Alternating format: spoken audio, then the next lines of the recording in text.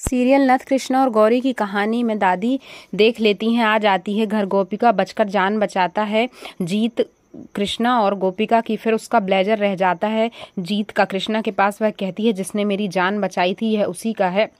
कुछ अपना सा क्यों लग रहा है? मुझे इसे वापस करना पड़ेगा। यहाँ जीत घर ले आता है शिव को बचाकर और फिर जाता है कि मैं अपना ब्लेजर लेके आऊँगा। उसमें फ़ोटो है कृष्णा की और यहाँ पर जो बुआ जी हैं, उनके लड़के बहू कहते हैं कि ये शिव तो बिल्कुल लाड़ला हुआ जा रहा है। इधर पर वह रिसेप्शन में आकर पूछता है कि जो जिसने, जिसकी हमने जान बचाई थी, वह कहाँ है? उसका एड्रेस दीजिए, तभी कृष्णा आती है। इधर थानेदार साहब पूछते हैं कि कहाँ है कृष्णा मैडम?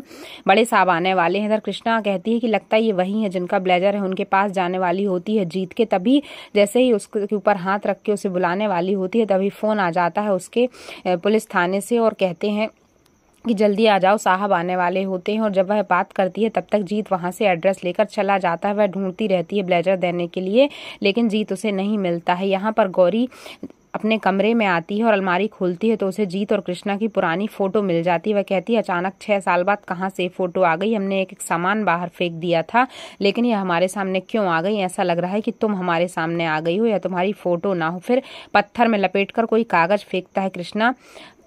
के बारे में सोचती है, गौरी, और सोचती है किसने फेंका होगा। जब उठाकर देखती है तो पत्थर फेंक देती है और उस कागज़ को जब खोलती है तो वह एक चिट्ठी होती है। उस चिट्ठी में लिखा होता है कि तुम्हारे बेटे शिव ने हमारी शकल देख ली है। अगर तुम्हें उसकी जान बचानी है तो पचास लाख रुपए तुम्हें रखने होंगे और नहीं तो अपना बेटा रखे रहना, उसकी जान खतरे में हमें पचास लाख ज़रूर दे देना। हम बताएँगे, वह परेशान हो जाती है, सोचती है, लगता है यह वही बच्चा चोर है मास्क वाला जिसने हमारे बेटे को मारने की धमकी दी है। और फिर ये जो बुआ जी का लड़का है, वह फ़ोन करके बुआ जी से कह देता है कि काम हो गया है, गौरी डर गई है और